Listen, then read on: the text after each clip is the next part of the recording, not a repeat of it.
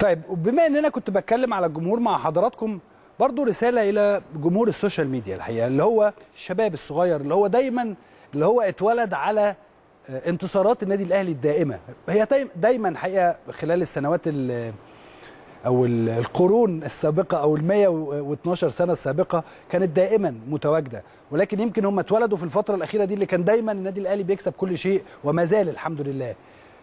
حاجة مهمة بس عايز أوصلها لحضراتكم. إن مساندة الفريق أهم شيء.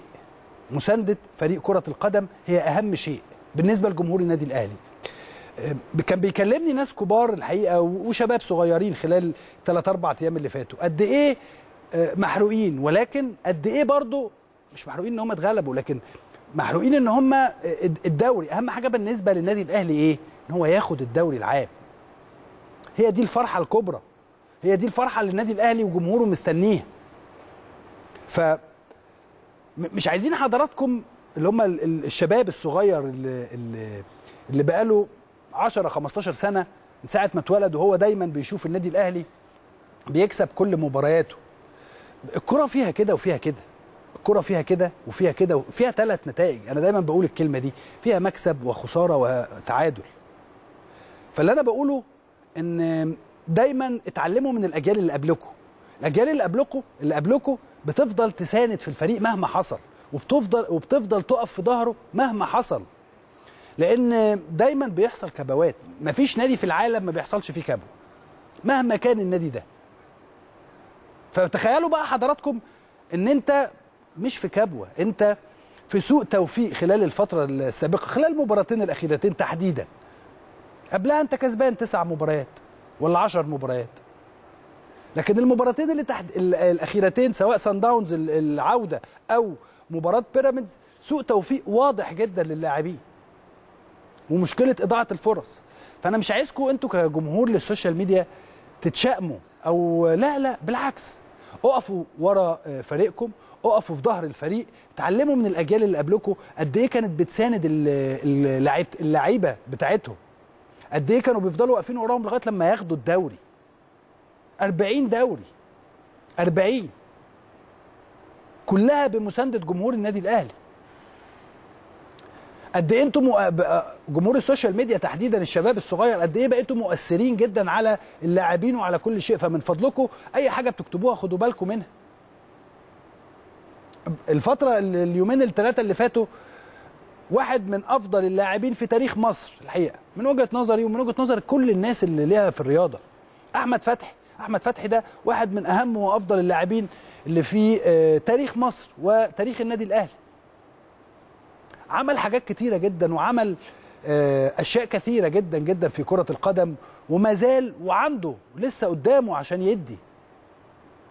لسه قدامه عنده ربنا يديله الصحة ويديله العمر واحد من أفضل وأهم اللاعبين في العشر سنين الأخيرة على الأقل.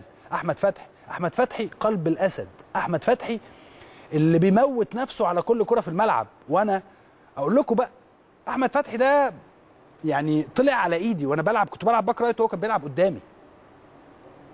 أحمد فتحي لما كنا بنلعب خمسة على اتنين في النادي الأهلي مثلا ويجي يخش عليا أي حد يديله يديله كوبري مثلا أو يحط ما بين رجله الكوره كان أحمد بيعمل إيه؟ أي لعيب تاني يتكسب لا أحمد يقوم وياخدها عامل كنا مسميينه زي الدبانة كده ما بي ما بي ما بيزهقش.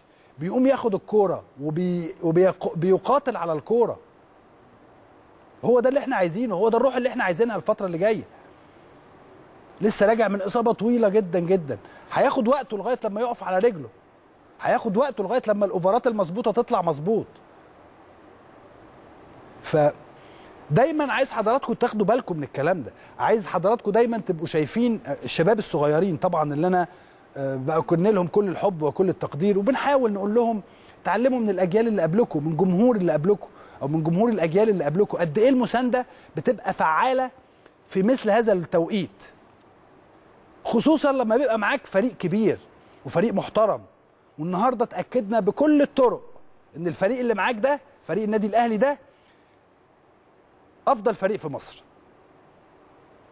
النهارده تحديدا سبحان الله اللي قاعد اتفرج على مباراة الزمالك وبيراميدز أو بيراميدز والزمالك يعرف قد إيه النادي الأهلي ده فريق محترم فريق قوي.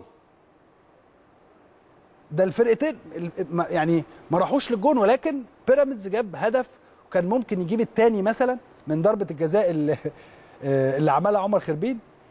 في النهاية المباراة انتهت بثلاث نقاط لنادي لنادي بيراميدز وعمل مباراة جيدة. لكن لما تتفرج على المباراة تتبسط إن أنت أهلاوي. تتبسط إن أنت عندك فريق آه، تم تكوينه خلال الفترة اللي فاتت بكل الطرق.